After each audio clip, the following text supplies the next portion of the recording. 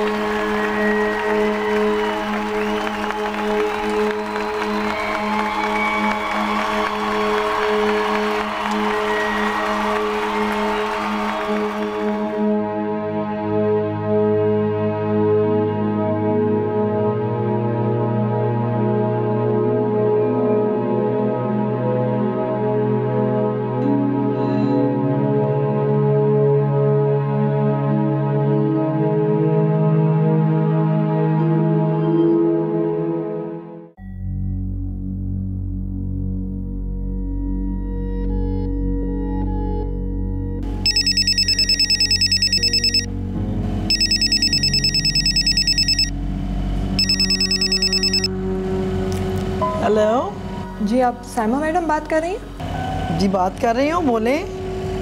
मैं आपसे मिलना चाहती हूँ। अगर आपके पास टाइम हो तो।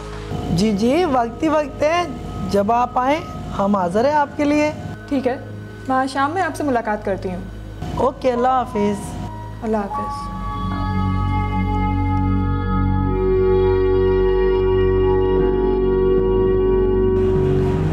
हिरम मैंने फैसला किया है। कि मैं इस मोहल्ले में स्कूल खोलूँगा और शाम को बच्चों को पढ़ाया करूँगा। लेकिन हमारे पास इतने पैसे कहाँ हैं जो हम स्कूल खोल सकें? और इसके लिए तो बहुत इन्वेस्टमेंट चाहिए ना। अरे कोई इन्वेस्टमेंट नहीं चाहिए। और ना मैं बच्चों की फ़ीस लूँगा किसी से। अब देखो हमारे महल्ले में एक सरकारी ज़मीन खाली पड़ी है। मैं वहाँ बच्चों का स्कूल खोल लूँगा। अरे कम से कम उन्हें इब्तदाई तालीम तो दे सकता हूँ मैं। अरे आप क्यों बिला वजह अपना वक्त बर्बाद कर रहे हैं? वक्त तो बर्बाद हो गया इरम बेगम। मेरा भी इन बच्चों का भी। अगर इनको इब्तदाई तालीम मिलने लगे अरे तो ये बहुत अच्छे शहरी बन सकते हैं। मगर ये काम तो हुकूमत का है ना? आपका तो नहीं है? मेरा भी है। और अगर मैं ना करूँ तो इरम बेगम मुझे कोई हक नहीं पहुँचता कि मैं किसी से कोई गिला करूँ। अच्छा चाय पियेंगे आप? हाँ चाय बना लो तो। चलिए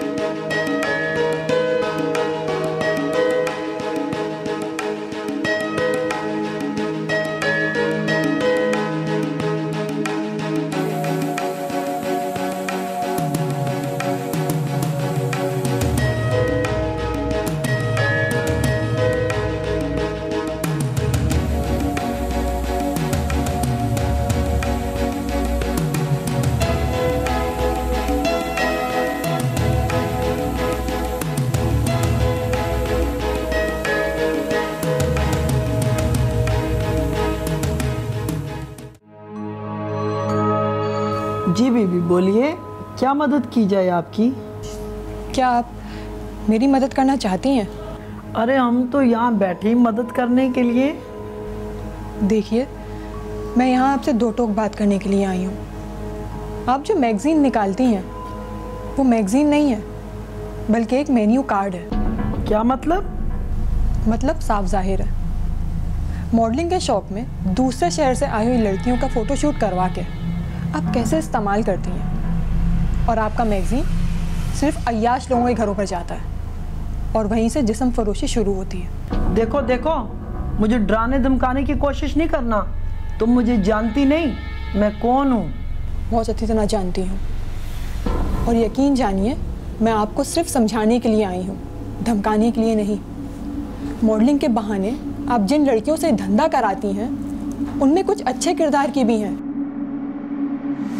मैं आपको सिर्फ़ मशवरा देने के लिए आई हूँ। अगर औरत ही औरत को बेचेगी तो कौन होगा हमें समझने के लिए?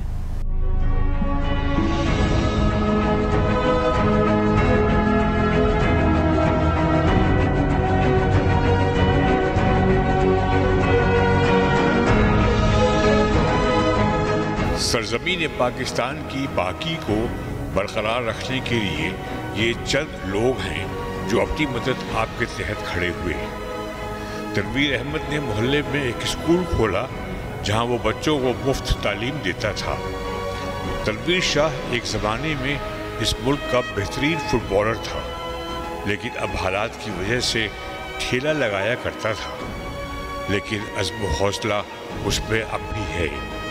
उसने मोहल्ले के जेब कतरे बच्चों को खेल से मुतारफ करवाया और बगैर किसी मुआवजे के उनको रोज़ ट्रेनिंग देता है। निदा ने फ़ैशन फोटोग्राफी के नाम पर बढ़ने वाले जिसम फरोशी का पता लगाया और उसे जड़ से ख़त्म करने पर कमर बस्ता हो गई। इन सबने तनो तनहा बुराई को ख़त्म करने का बेड़ा उठाया है। अब देखें, जीत किसकी होती है?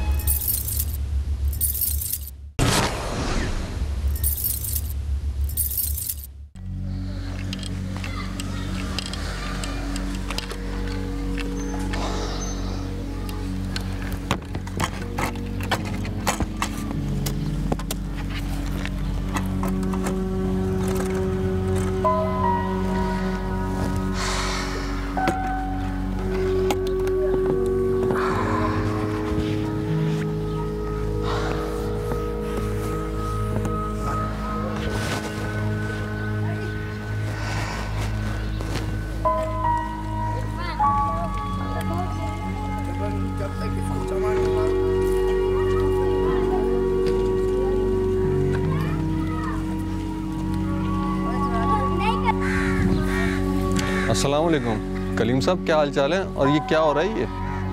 अरे बस फरागत को मसरूफियत में बदल रहे हैं। क्या मतलब? भाई शाम में हम फारिग होते हैं। तो हमने सोचा एक छोटा सा स्कूल बना लिया जाए। कम अज़ कम महल्ले के बच्चे पढ़ सकेंगे। लेकिन ये तो सरकारी ज़मीन है आप इस पे कारोबार नहीं कर सकते। नहीं नहीं मैं कोई कारोबार थोड़ी कर रहा हूँ। ना मुझे किसी से कोई फ़ीस लेनी है। भाई सरकारी ज़मीन है। एक जमाने से खाली पड़ी हुई है। अब अगर महल्ले के चार बच्चे यहाँ घंटा दो घंटा पढ़ लेते हैं तो इसमें किसी का क्या जाएगा? देख लें कोई तमाशा ना हो जाए। अरे भाई कोई तमाशा नहीं होगा आप फ़िक्र मत करें। बस अपने बेटे को ज़रूर भेजिएगा यहाँ पढ़ने के लिए। लेकिन मेरा बेटा तो काम पर जाता है। मियाँ काम तो सारी ज़िंदगी करना है। अगर घंटा दो घंटा वो यहाँ के पढ़ लेगा तो इसमें तुम्हारा ही फ़ायदा है हाँ।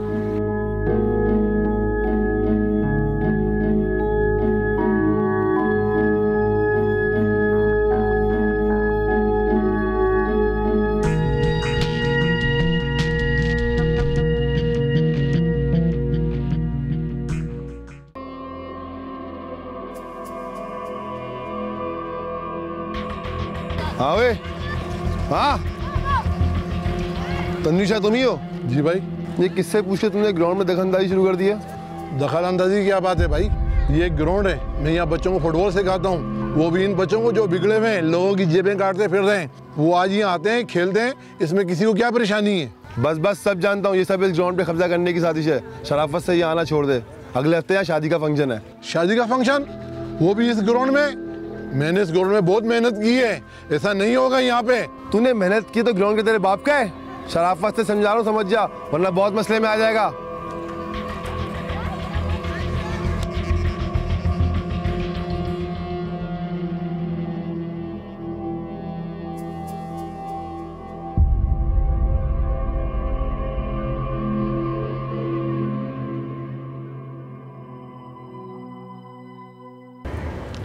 ओहो मैडम खूब काम हो रहा है। कौन हो तुम? अपना हमदर्दी समझो। क्या बकवास कर रहे हो? अभी तो बकवास कर रहा हूँ सुन लो फ़ायदे में रहोगी। जिन जगहों पर तुम टांग फंसा रही हो ना कहीं ऐसा ना हो कि वहाँ से तुम्हारा निकलना मुश्किल हो जाए।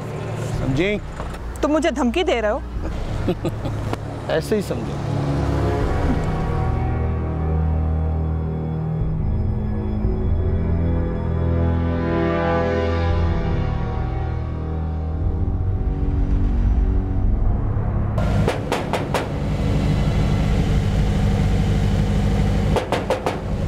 आ रहा हूँ। कौन है भाई? क्या बदतमीजी है? कौन हो तुम?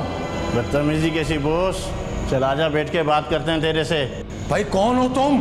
तेरे चाहने वाले तुझे समझाने आए ये जो सरकारी ज़मीनों पे तूने धंधा शुरू किया हुआ है ना ये तेरे बाप की नहीं है। अरे भाई अगर महल्ले के चार बच्चे वहाँ शाम को बैठ के पढ़ लेते हैं तो उसमें किसी का क्या जाता है? इतना बोला तू नहीं है जितना तू हमें दिख रहा है। ये जो सरकारी ज़मीनों पर धीरे धीरे कब्जे करने की साजिश हो रही है ना सब हमें पता है। दोबारा नहीं आना पड़े समझा? चल। मैंने आपसे कहा था ना नहीं समझेंगे ये लोग आपकी बात। क्यों दुश्मनी बोल ले रहे हैं आप? अब इस तरह के लोग हमारे घर में घुस आएँगे। अरे भाई परेशान मत हो। कैसे परेशान ना हो? बस आप छोड़े ये सब कुछ। मैं जो कर रहा हूँ उसमें मेरा जमीर मुतमईन है। मैं यहाँ के बच्चों को तालीम देना चाहता हूँ और दूँगा। इनके डराने धमकाने से मैं अपना नेक मकसद खत्म नहीं कर सकता। आप समझते क्यों नहीं है आखिर? अरे अल्लाह पे भरोसा रखो रो मत।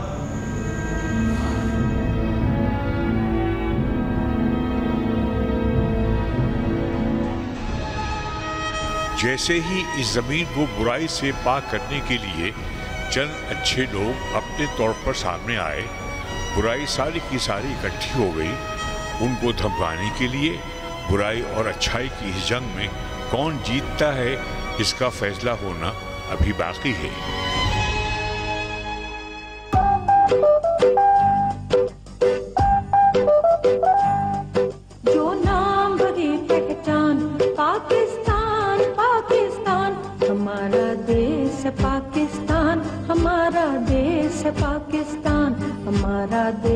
पाकिस्तान, हमारा देश है पाकिस्तान।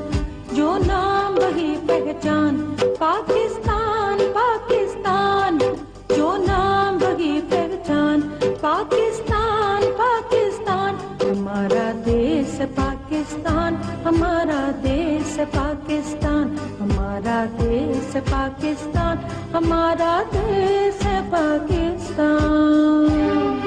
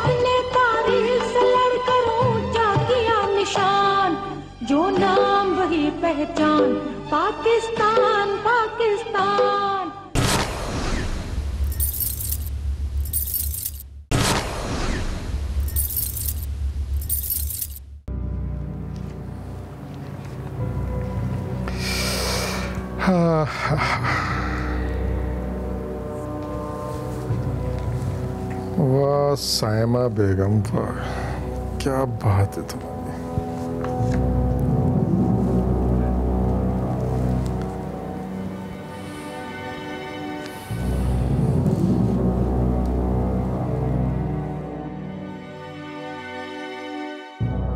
हेलो सायमा बेगम। कैसी हो? बस ठीक है सरकार। अपने कामों में लगे हुए हैं। अरे हाँ तुम्हारा काम में लगा रहना ही हमारे लिए बहुत ज़रूरी है। तुम्हारा नया मैगजीन आ गया हमारे पास। अब इन परियों को कब भेज रही हो हमारे पास? बिल्कुल बेचती हूँ। बस वो एक बात करनी थी आपसे। हाँ हाँ बोलो बोलो क्या बात है? वो एक छोकरी है एनजीओ वाली। वो हमारे बारे में बहुत कुछ जान गई है। उसने बड़ा परेशान करके रखा हुआ है। अरे छोकरी ही है ना। देख लेंगे उसे। तुम बस अपने काम में लगे रहो। मेहरबानी सरकार। शुक्रिया।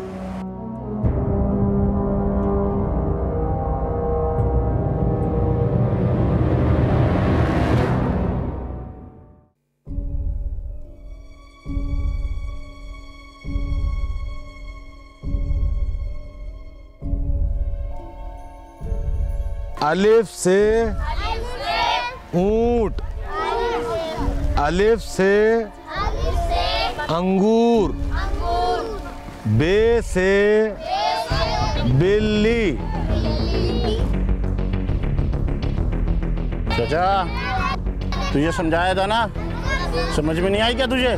बेटा, मैं तो यहाँ सिर्फ़ बच्चों को पढ़ा रहा हूँ, ताकि ये तुम्हारी तरह गुंडा ना बने, बल्कि एक अच्छा शेरी बने।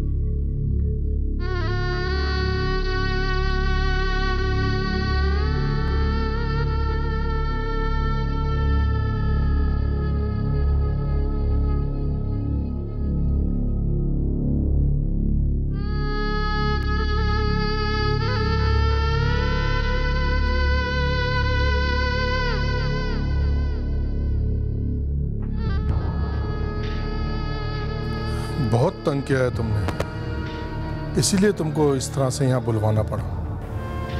मैं तो अपना काम कर रही हूँ और करती रहूँगी।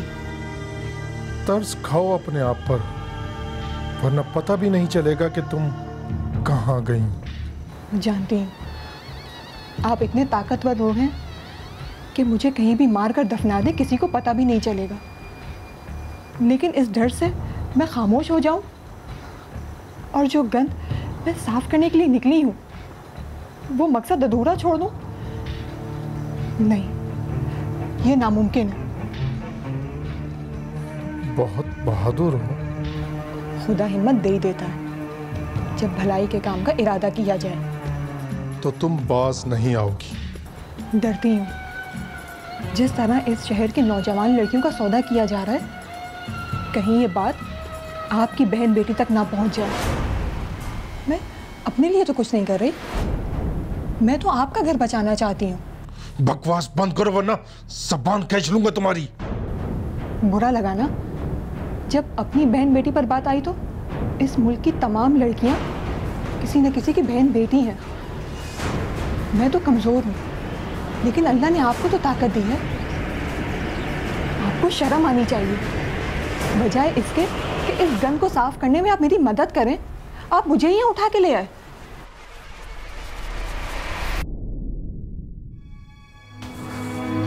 जिस दिन आप जैसे ताकतवर लोग मुझ जैसी कमज़ोर आवाज़ के साथ अपनी आवाज़ मिलाएँगे ना, उस दिन इस मुल्क को पाक ज़मीन बनने से कोई नहीं रोक सकता।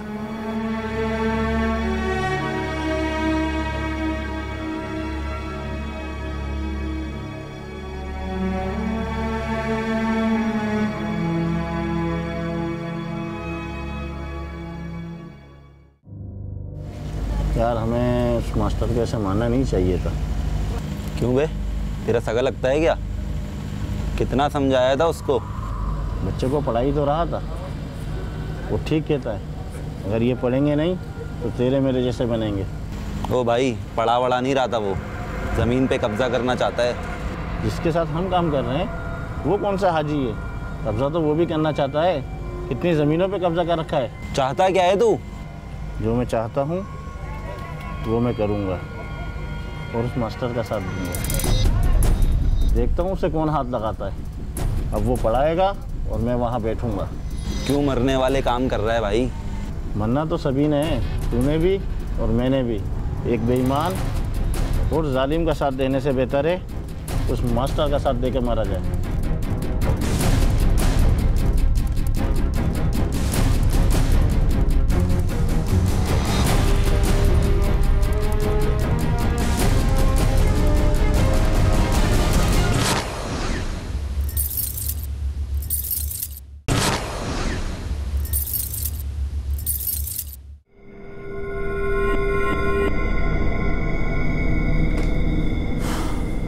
ये ग्राउंड का क्या मामला है? और ये तनवीर शाह कौन है? सर तनवीर शाह पहले फुटबॉलर था।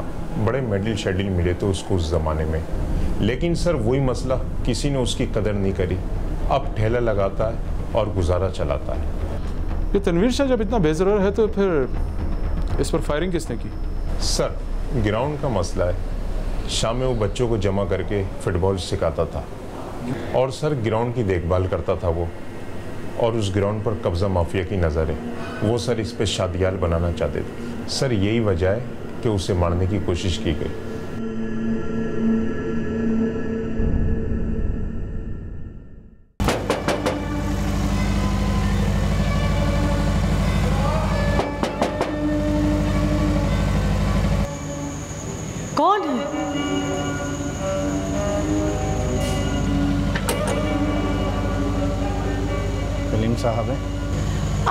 चाहते हो तुम लोग? अब भी दिल नहीं भरा क्या? कौन है भाई?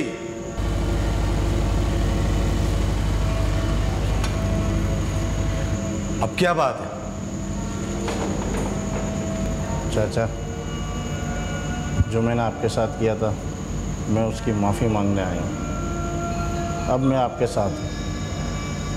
अगर अब कोई आया तो पहले वो मुझसे निपटेगा बाद में आप तक पहुँचेगा चाचा। आप पढ़ाएँ यहाँ के बच्चों को। बस। इनको मेरे जैसा ना बनने दें।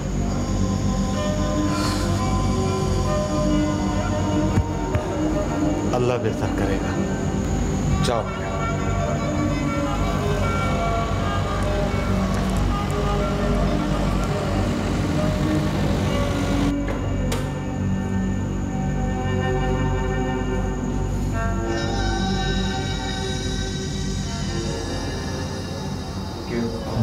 कसूर सिर्फ़ इतना है साहब, मैंने बच्चों को जेब कतरा बनने की बजाय इनके दिल में खेल का शौक पैदा किया। बस यही वजह है इन्होंने मुझे गोली मार दी। मेरे साथ जो हुआ, सो हुआ। अगर इस मुल्क के बच्चों को दहशतगर्द बनने से बचा ले मैं अकेला हूँ, मेरी मदद करें। तुम अकेले नहीं, मैं तुम्हारे साथ हूँ। तुम जो कर रहे थे वही करते रहना। मैं देखता हूँ कि उन बच्चों से अब ग्राउंड कौन छीनता है। तुम्हारी मदद के लिए सिपाही हर वक्त मौजूद रहेंगे। बस बस तुम्हें हिम्मत मत हारना। शुक्रिया। बहुत बहुत शुक्रिया। इसमें शुक्रिया की कोई बात नहीं तनवीर शाह। ये तो हमारा फ़र्ज़ है। इस लड़ाई में खुद को कभी अकेला मत समझना। बस जो काम तुम कर रहे हो वो करते रहना। क्योंकि मैं नहीं चाहता कि फिर इस मुल्क का कोई होनहार खिलाड़ी ठेला लगाए।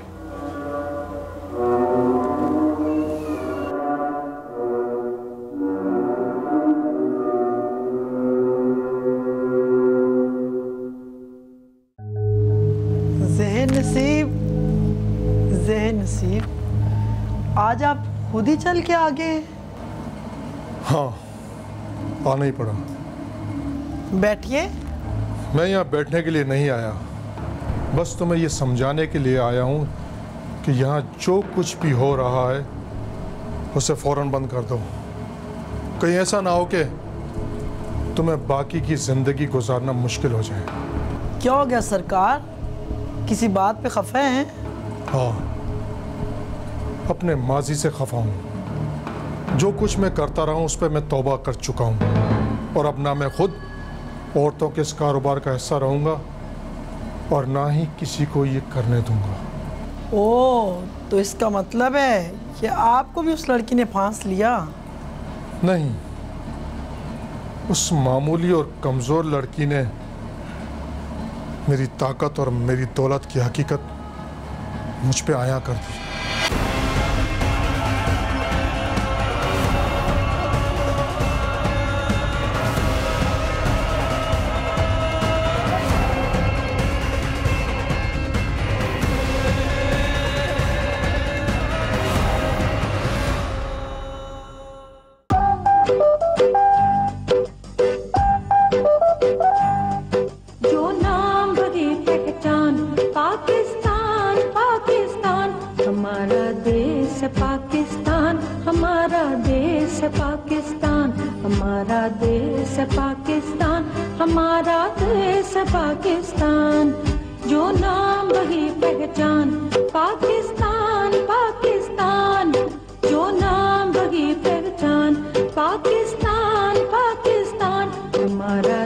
देश पाकिस्तान हमारा देश पाकिस्तान हमारा देश पाकिस्तान हमारा देश पाकिस्तान।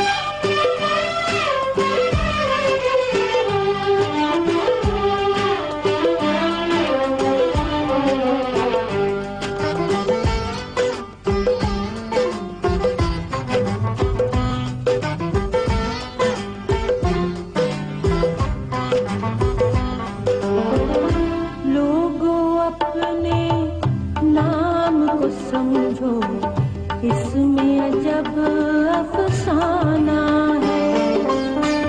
मानियो मतलब पूछ रहे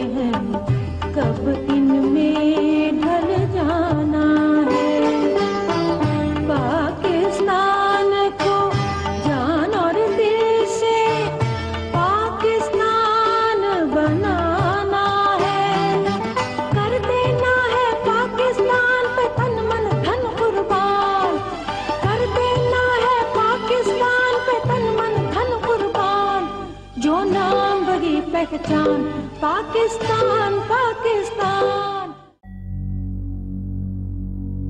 मैं आपकी बहुत शुक्रगुजार हूँ कि आपने इस मकरू काम को बंद कराने में मेरी बहुत मदद की।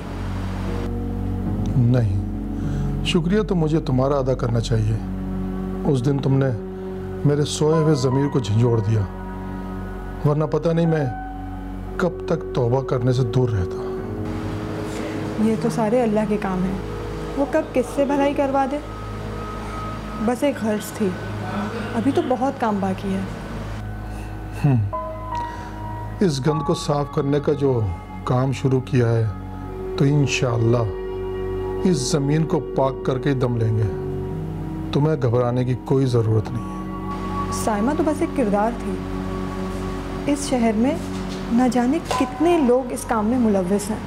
बेस्ट नेकी और बदी की जंग में नेकी करने वाला बज़ाहिर तो कमज़ोर और अकेला नज़र आता है। लेकिन नेकी अगर खुलूस दिल से की जाए तो कुदरत कभी उसे रायगान नहीं जाने देती।